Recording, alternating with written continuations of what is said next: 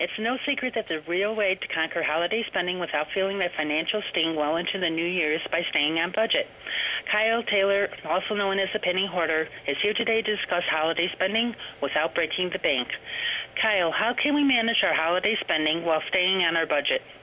Well, we all know that Black Friday and Cyber Monday just ended, but if you missed it, don't worry. In fact, last year, the best deals actually came seven to 10 days before Christmas.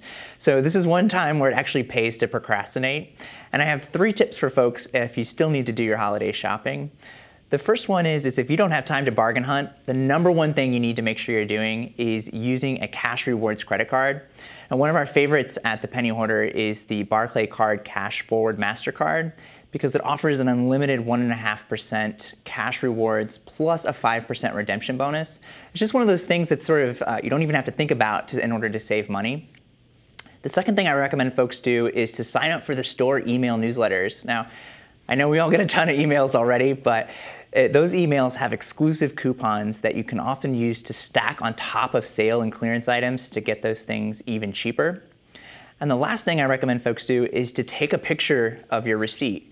Now, I know that might sound kind of silly, but there are apps like Ibotta that will pay you cash rebates on those, re on those receipts. So for example, Best Buy is offering a $5 rebate right now when you take a picture of a $100 receipt or more, which is pretty awesome because we're already going to be shopping there.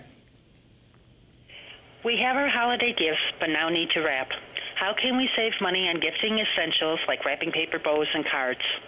Yeah, all those cards and bows start to really add up. In fact, it can cost up to $11 just to wrap one package. So we recommend folks think outside the box. That's the big box stores. The drugstores are famous for having huge loss leaders around the holidays, and you can often pick up those Christmas cards and bows and wrapping paper at huge discounts. How can we be frugal and yet get a gift that does not say closeout sale?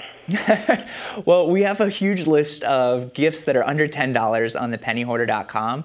So you, just because you're being frugal doesn't mean you can't give something special. I also recommend if you're really on a tight budget, think about giving an experience. Think about offering somebody a home cooked meal or a day out. I think that's just as valuable as a gift. What are a few low cost Christmas gift ideas? Yeah, so again, I love the idea of just doing something nice for somebody. Um, when's the last time you got out your mixer and baked cookies or a pie? Uh, that those kind of uh, those kind of things mean a whole lot more to people than something that you might be buying um, online or at the toy store. Where can our viewers find your website?